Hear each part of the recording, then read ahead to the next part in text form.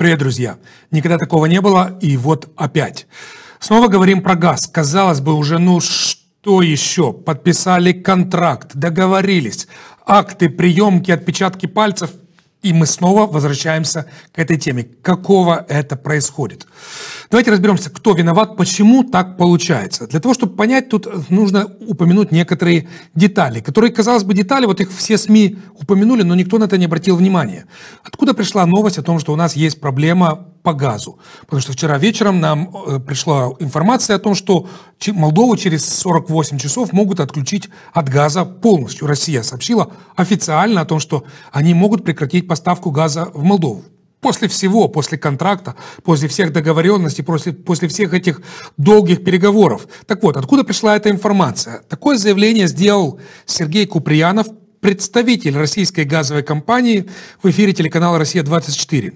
Он сказал, имея в виду сложную ситуацию в экономическом и финансовом положении Молдавии, руководствуясь стремлением сохранить для Молдавии выплаты ее долговых обязательств перед «Газпромом», а также позицию президента России, к которому молдавская сторона неоднократно обращалась за содействием, «Газпром» принял решение подписать контракт практически на условиях молдавской стороны, но существенным и важным пунктом. Молдавия в срок уплачивает 100% текущих платежей. Очередной срок текущих платежей платежей истек сегодня, 22, то есть это было вчера, 22 ноября. Платежа нет. Здесь не так важно то, что он сказал, важно, кто сказал. Какой-то Сергей Куприянов, который представитель «Газпрома». Кто он вообще?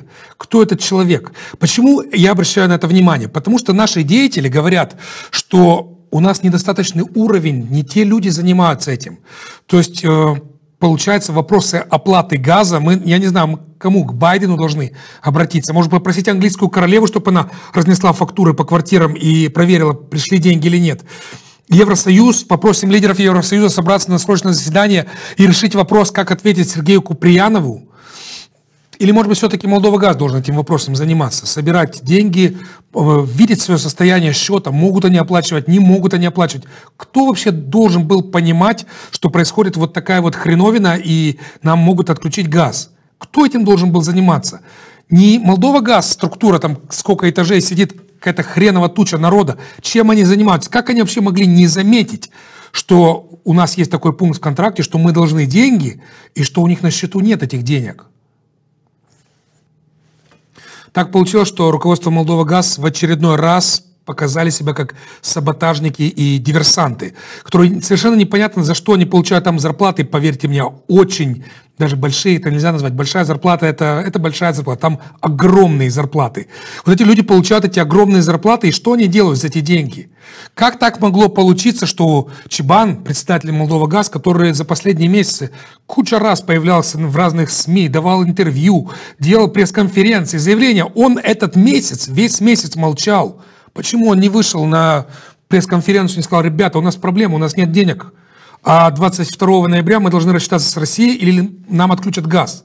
Он не знал об этом? Тут только два варианта ответа. Или он не знал, значит, человек не на своем месте, ему надо работать где-то в другом месте. Или он знал и специально промолчал для того, чтобы нагнетать вот эту вот истерию в обществе, пугать людей отключением газа, чем, в общем-то, он занимается все последние месяцы. Но кто же все-таки виноват в этой ситуации? Я считаю, что не Чебан, потому что я лично от него ничего хорошего не ждал и вообще вот абсолютно не удивлен тем, что так все произошло. Я считаю, что виновато правительство и лично господин Спыну, потому что они должны были включить мозг и понимать, что от ставленников в Молдова газ не надо ждать, что они будут делать свою работу. Наоборот, они будут делать все возможное, чтобы максимально провоцировать проблемы для того, чтобы нагнетать недовольство в обществе.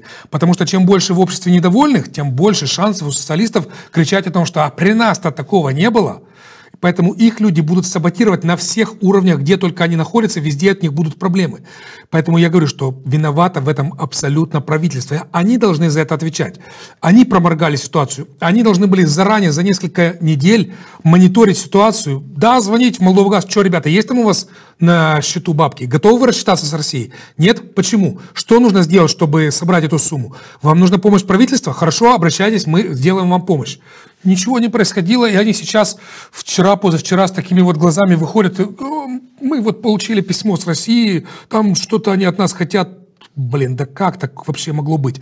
Ну вот сейчас уже, когда я уже сел записывать эту передачу, Под вечер появилась информация, Спыну заявил, мы внесли в коррективы в бюджет на 2021 год. Согласно решению чрезвычайной комиссии, для Энергоком было выделено 1,7 миллиарда леев, из них 1,4 миллиарда будут выделены Молдова газ для выплаты долга.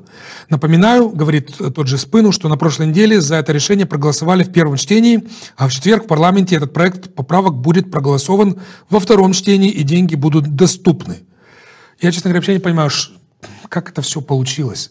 Еще вчера, повторяю, они ходили с полностью такими опешившими выражениями лица, э, что он, что Чебан, как, ну, пришло письмо, ну, мы, мы его еще не видели, мы не понимаем, мы, мы разберемся, мы дадим ответ. Тут он выходит говорит, что да нет, все нормально, деньги есть, мы все решили, вот осталось немножко проголосовать, и деньги будут доступны. Как по мне, это говорит, что есть определенные признаки провала, провала профессионального, да, может быть, э, такие ситуации это нестандартная ситуация, но, ребята, вы должны об этом думать. Это не мы должны об этом думать, не СМИ должны об этом думать, не эксперты. И повторяю, я, я не ждал ничего от Молдова ГАЗ. Вот, вот уж кто не собирается нас с вами думать, это они. Поэтому я повторяю, что я считаю, мое личное мнение, что за этот кризис должно отвечать правительство. Они проморгали ситуацию, они это упустили, они должны были принять меры раньше. Да, даже если они сейчас выскочат, нормально все как бы... То есть я думаю, что газ нам все-таки не отключит, что они сейчас быстро это все решат. Но это не надо было доводить до ситуации, когда это надо решать быстро, вот сейчас, прямо в панике. Надо было спокойно к этой ситуации подойти, заранее думая. Вот насчет с тем, чтобы думать заранее о проблемах у нас как-то никогда не получалось у наших чиновников. Ладно, посмотрим, чем это все закончится. Разберем вместе с вами, как будет развиваться ситуация. Подписывайтесь для этого на канал. Всем доброго, пока.